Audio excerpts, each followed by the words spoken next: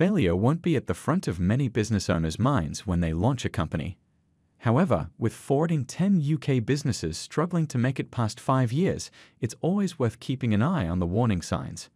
In this article, management accountant Kirsty Fitzgerald outlines the five bad practices to avoid if you wish to give your business a fighting chance of success. Number one, poor cash flow management. You may be sick of being told cash is king, but it doesn't change the fact that poor cash flow management can lead to the demise of any business. Indeed, even a profitable business can fall victim to a crippling cash flow crisis, which is often caused by the ineffective management of debtors, high stock levels, bad debt, and late invoicing. Inadequate financing or selecting the wrong type of funding for your business can also put it on the path to failure. Without access to sufficient growth capital, whether in the form of personal savings, private equity, or debt finance, your business may not have the fuel it needs to grow. Number two, losing control of the finances. Any business owner needs to be aware of their financials and cash position at any given time. The accurate forecasting of income and costs may lead to a few surprises, but it will ultimately help support your cash flow. Business owners should also understand and control their costs acknowledging risks and opportunities, which should help minimize any nasty surprises.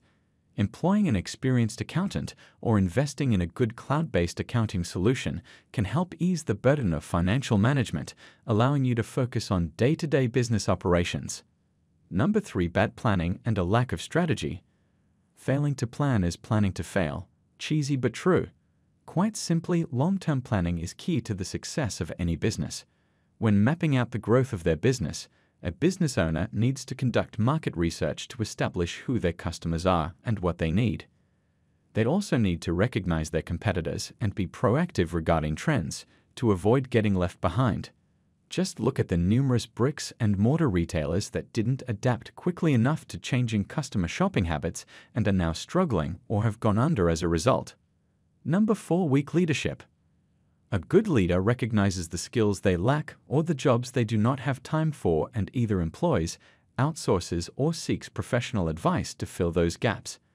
They will also communicate, direct, reward, and offer the opportunity for personal growth to their employees, creating a happy, effective, and loyal team.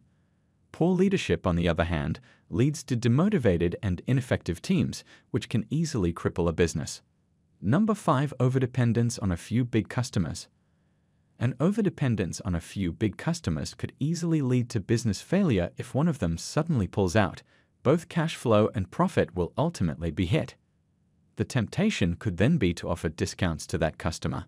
However, this will only lead to poor margins over the longer term.